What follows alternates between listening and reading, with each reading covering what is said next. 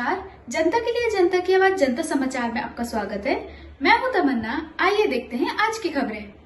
पिट्टू bag में लेकर आ रहे थे लाखों का गांजा। पुलिस ने किया गिरफ़्तार।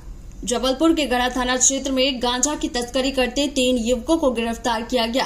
आरोपी के कब्जे से 9 किलो गांजा बरामद किया गया है। इसका मूल्य लगभग एक लाख अस्सी हज़ार रूपए है। मामले में क्राइम ब्रांच और गढ़ा पुलिस ने संयुक्त कार्रवाई की है। गढ़ा थाना प्रभारी नीलेश दोहरे के अनुसार देर रात गढ़ा थाना क्षेत्र में क्राइम ब्रांच और थाना पुलिस संदिग्धों की जाँच कर रही थी। तभी धनवंतरी नगर की ओर से आ रहे तीन युवकों को मेडिकल कॉलेज के मर्चुरी द्वार पर रोका गया। तीनों युवक पिट्टू बैग टांगे हुए थे। पूछताछ करते ही चकमा देकर भागने का प्रयास करने लगे। इस पर तीनों के पिट्टू बैग खोलकर जांचे गए तो उसके अंदर से गांजा रखा मिला, जिसे जब्त कर लिया गया। गांजा तस्करी के आरोपियों को गिरफ़्तार करते हुए आरोपियों के विरुद्ध एनडीपीएस एक्ट के तहत मामला पंजीबद्ध किया गया।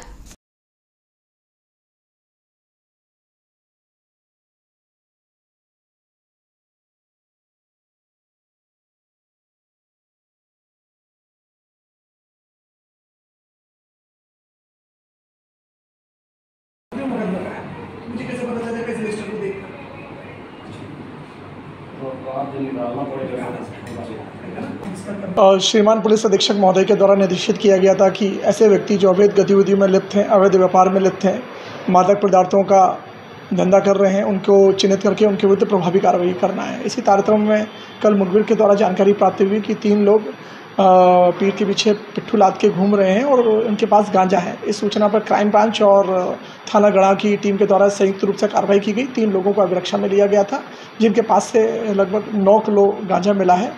और जिसमें से एक आरोपी एक आरोपी कैलाश चौधरी जय यादव और अनिल पटेल हैं जिसमें कैलाश चौधरी घमापुर का रहने वाला है और ये दोनों अन्य दोनों आरोपी अ, आधार ताल के रहने वाले हैं। गांजे की कीमत लगभग डेढ़ लाख रुपए है।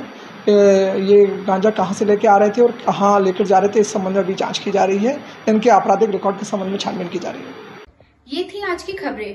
और खबर देखने के लिए हमारे चैनल को सब्सक्राइब करें लाइक करें और बेल आइकन दबाना ना भूलें। आप देख रहे हैं जनता के लिए जनता की आवाज़ जनता समाचार। अन्य खबरों के लिए हमारा चैनल सब्सक्राइब करें।